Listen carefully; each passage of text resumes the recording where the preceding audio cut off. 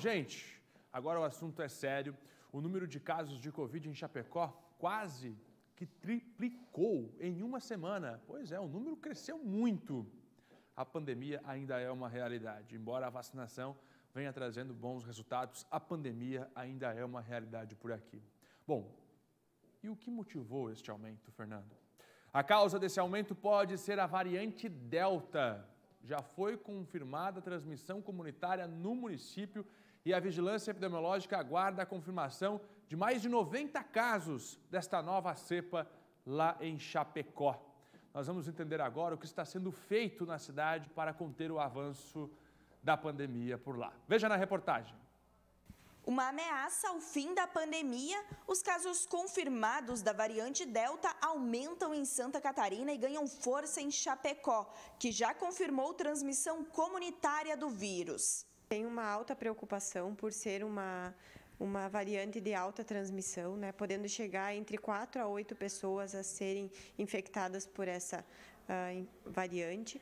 No município de Chapecó, até o momento, nós temos um caso confirmado de transmissão comunitária, ou seja, a transmissão dentro do município. Essa pessoa não viajou, reside no, no bairro EFAP, né, e permaneceu no município, então foi contaminada dentro de Chapecó. Uh, estamos aguardando um novo boletim, o qual tem em torno de 90 pacientes positivos para a Delta. Desses, não vou saber confirmar quantos são de Chapecó, então estamos aguardando essa nova nota do estado de Santa Catarina. Em Santa Catarina, por enquanto, são 36 casos confirmados.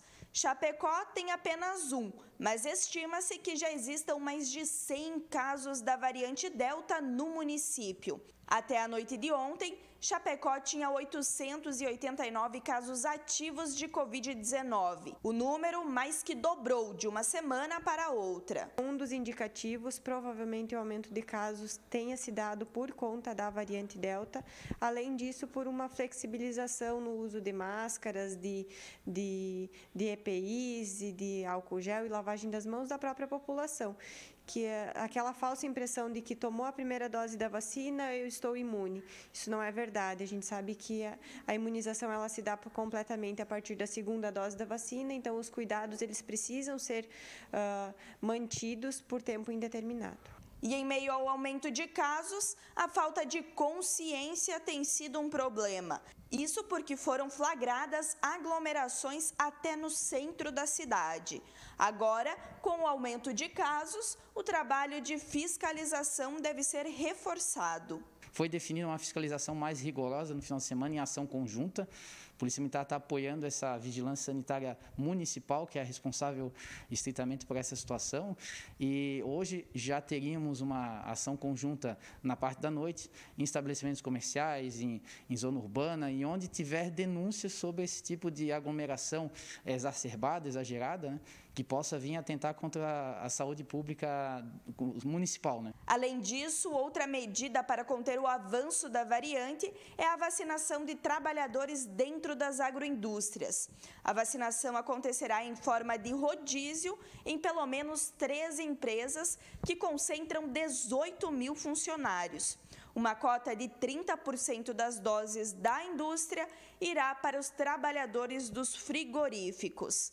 Mas além da vacinação, o mais importante é manter os cuidados básicos, já que a vacina não é 100% eficaz contra a variante Delta ali em janeiro, fevereiro e que deu o aumento dos casos, ela conseguia transmitir, transmitir um, um e-mail até dois.